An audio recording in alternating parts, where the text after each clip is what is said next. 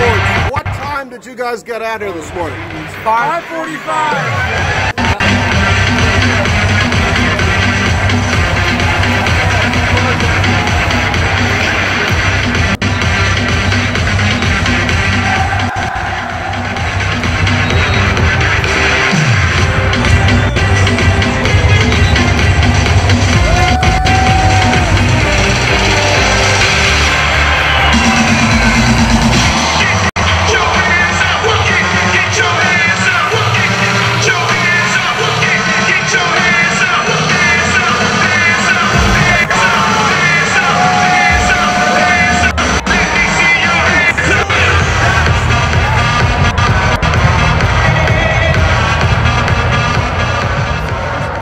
exceptional. To have game day on campus really gives our program a lot of exposure.